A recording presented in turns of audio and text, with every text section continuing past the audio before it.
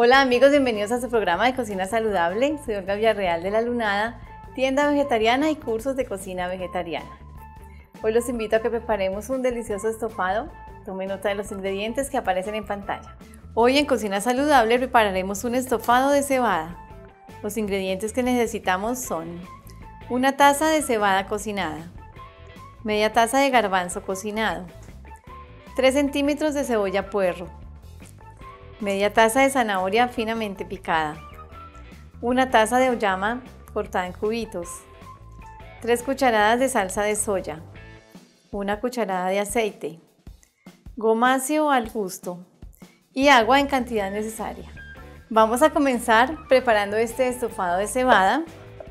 Bueno, primero teniendo la cebada ya previamente cocinada, van a dejar la cebada en agua la noche anterior y al otro día la van a cocinar. Se cocina aproximadamente por unos 20 minutos en una olla normal, no necesitan la olla express. La dejan en agua y recuerden siempre antes de dejar cualquier cereal o cualquier eh, leguminosa en agua, deben lavarla primero y luego sí la dejan en agua. El agua donde la dejamos en remojo siempre la cambian porque esa agua va a recoger muchas sustancias que no son buenas para nuestro organismo, que son tóxicas, entonces debemos cambiar el agua. Le ponen otra agua y la ponen a cocinar 20 minutos. Ahí ya tenemos listas la cebada. Lo mismo los garbanzos. Vamos a dejar los garbanzos tres días más o menos en agua es mejor que los dejen más tiempo para que sean más fáciles de digerir y que ellos empiecen el proceso de germinación. Entonces los lavan muy bien, los dejan en agua, al siguiente día le cambian el agua, así por los tres días. El último día le cambian el agua nuevamente y la cocinan con un agua nueva en la olla express por unos 20 minutos o 30 minutos, esto también depende mucho de la olla. Cuando ya los tenemos cocinados, entonces vamos a empezar a preparar nuestro estofado eh, alistando los vegetales. Vamos a cortar auyama o zapallo. Este zapallito que es un poquito más durito que la auyama. Lo vamos a cortar en cubitos y los vamos a saltear junto a la zanahoria y a la cebolla puerro.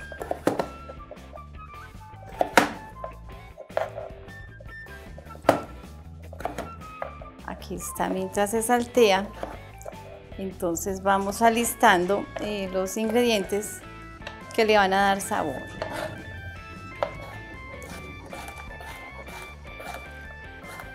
les recuerdo nuestras redes sociales estamos en lalunada.com allí en esta página van a encontrar información de los cursos virtuales y presenciales si de pronto están lejos de Bogotá o no tienen el tiempo para venir a hacer los cursos acá presenciales, entonces los, los invitamos a que los hagan virtuales.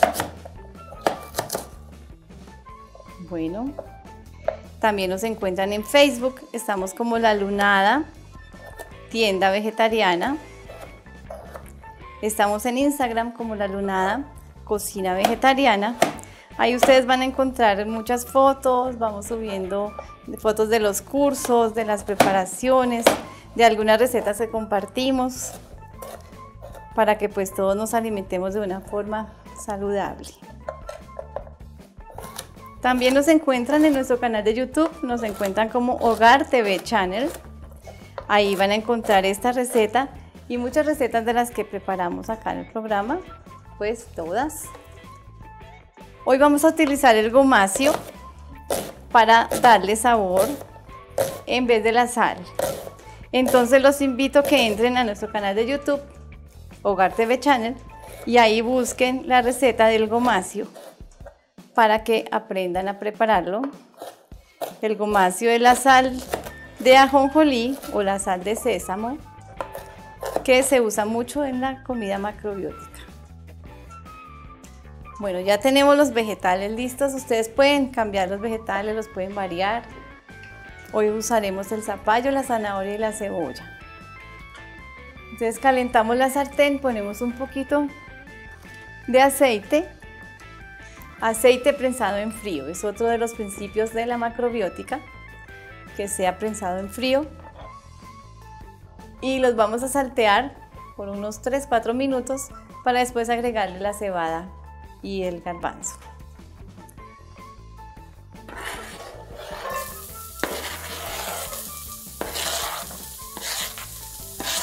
Cuando bajamos de la tablita, los ingredientes lo debemos hacer acá por el lomo del cuchillo, no con el filo, sino vamos a voltear el cuchillo para no dañarle el cuchillo, el filo a los cuchillos. A cualquiera, pero sobre todo estos de cerámica son más delicados. Me han preguntado mucho de los cuchillos que yo utilizo acá.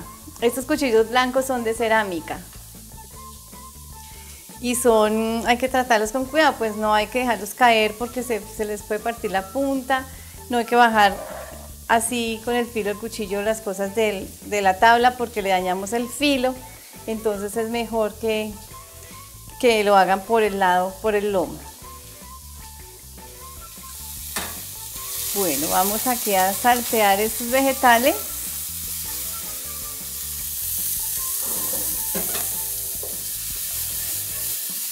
Los vamos a dejar ahí unos 5 minuticos y ahora le vamos a agregar entonces la cebada y los garbanzos. Recordemos que en la comida macrobiótica es muy importante el cereal, porque el cereal nos da mucha energía. Es importantísimo tener el 50, entre el 50 y 60% de nuestro plato con cereales. Aquí tenemos la cebada como cereal y tenemos los garbanzos como leguminosa. De leguminosa son entre, está entre 15 y 20% que debemos consumir y un 25% de vegetales. Esa es la forma como debemos tener nuestro plato si estamos teniendo en cuenta la dieta macrobiótica.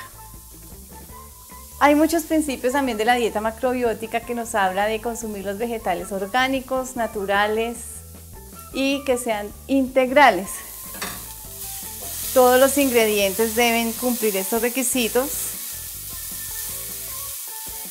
Es importante no utilizar el, microondas. En la macrobiótica tampoco se comen carnes, ni pollo, ni leche, ni huevos. Es otro de los principios no se consumen alimentos procesados, industrializados, o sea, hay que comer lo más natural posible, con condimentos muy naturales también, pocos condimentos, no, se utilizan muchos eh, condimentos eh, con sabores tan fuertes. Además, también eh, vamos a utilizar la salsa de soya y los, derivados de la soya, de una soya que no sea transgénica, que sea orgánica, y en vez de la sal refinada vamos a usar o sal marina o el gomacio, que es lo que vamos a utilizar hoy. Gomacio es la sal de sésamo. Bueno, voy a agregarle aquí entonces ya la cebada.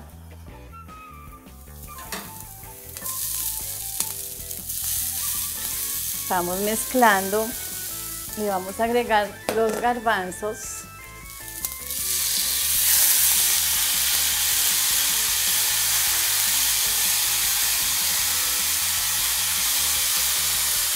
Vamos a agregar la salsa de soya.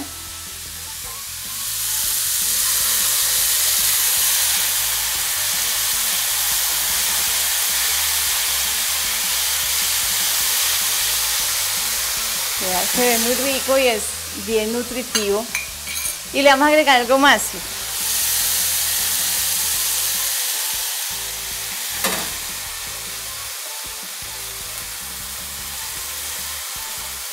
Lo vamos a dejar aquí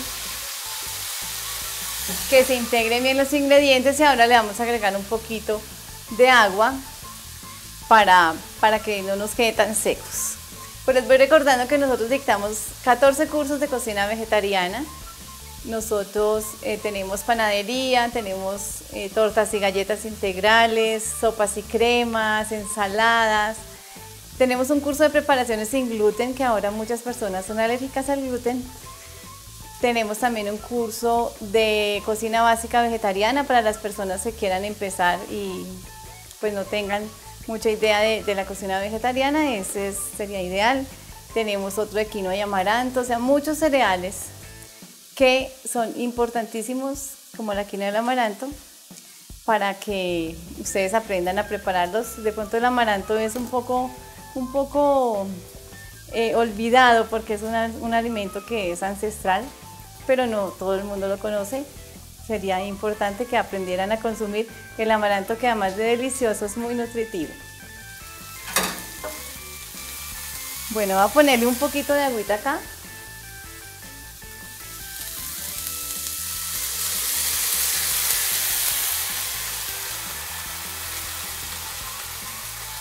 Así no nos queda, que no nos vaya a quedar seco, que se vea como salsita.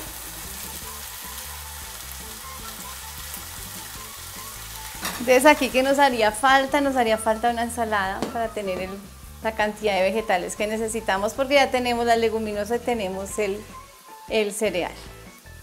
Entonces yo los invito a que nos visiten también en nuestra página en Facebook lalunada.com, que nos vengan aquí a La Lunada, estamos en Galerías en Bogotá, Qué rico conocerlos, muchas personas han venido a, saludarnos y a conocernos y pues a compartir muchos secretos de la comida saludable y de la comida vegetariana. Los espero también que en nuestra visita de, nuestro canal de YouTube, nos visitan ahí, estamos como Hogar TV Channel. Si quieren ver esta receta o la receta del gomacio o cualquier receta que hemos preparado, pueden entrar y volver a verla para que tomen nota y sigan haciendo ese cuaderno tan lindo que tienen muchas personas que se llama La Lunada Cocina Saludable. Muy lindo, gracias a los que me han traído el cuadernito y me lo han mostrado.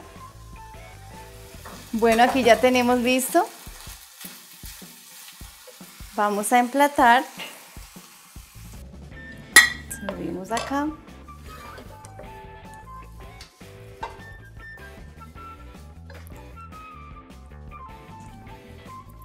Esto está delicioso. El gomacio le da un, sabor delicioso, pero también un aroma a tostadito muy rico. Y la mezcla de, gomacio con salsa de soya es delicioso. La verdad que no necesita más condimentos.